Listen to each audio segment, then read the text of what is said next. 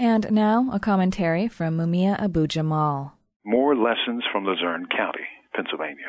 Recently, a piece was produced on the scandal in Pennsylvania's Luzerne County, where two judges pleaded guilty for playing their parts in a kickback scheme that netted them over two and a half million bucks.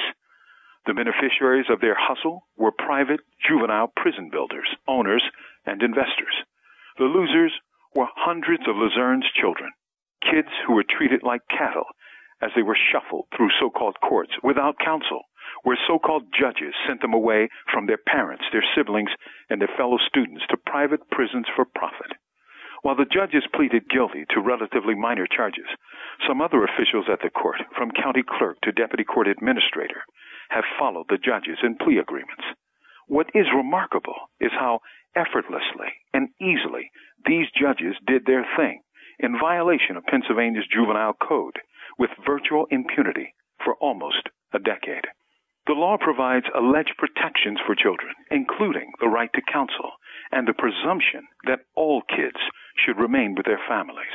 As a general rule, a child should not be detained unless she has posed a danger to others, their property, or herself. There are exceptions to this rule, and they were whether the child was charged with committing major felonies like robbery, rape, or murder. Rarely was this the case here. There was apparently another exception. When judges Mark Ciavarella and senior judge Michael Conahan wanted to make some quick bucks. They were subject to a higher law, get money. What the Luzerne County scandal has shown us is what happens in many courts is both a business and a mystery. It also shows us that sometimes the criminal is sitting on the bench wearing a black robe. From death row, this is Mumia Abu Jamal. These commentaries are recorded by Noelle Hanrahan of Prison Radio.